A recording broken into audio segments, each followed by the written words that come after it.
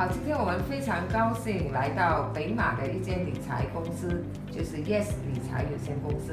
今天受访的嘉宾呢是陈玲丽，也就是 John Chan。So，陈先生，我们想请问您关于如何提供优质的全方位理财咨询服务与我们的客户呢？其实，呃，提供服务呢，很多人在外面在市场上认为 financial advisors 啊，这种持有这种 license 的理财师啊，拥有给的服务是很复杂、很复杂、很复杂的。那很简单，人的性格是这样子的，如果越乱、越复杂的东西越难做决定。OK，越这边等。其实，在 financial planning 里面有一个很大的障碍是什么呢？其实就是 procrastination。OK，客户的拖延、拖延、拖延。那我们本身的经营模式是把复杂的东西简单化。OK，那复杂的东西简单化，让客户明白，人容易明白，那容易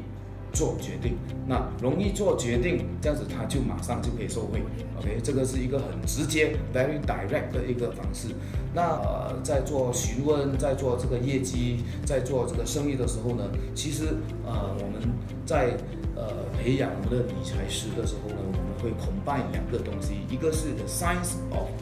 呃 financial advisory，就是说所有的科学可以可以学的课本上有的东西，这些知识等等这个 science，还有另外一个是 the art，OK，the art of financial advisory。The art 呢，普通上呢就是讲这人的性格学啦，OK，心理学啦等等啦，他怎样做决定那种感性的部分，所以有统计，OK，解释也有很多的啊成功学教师教师，好像 Anthony robbin 啊这些人都都都证明了一些东西，人呃一个决定了八十八先是靠靠感性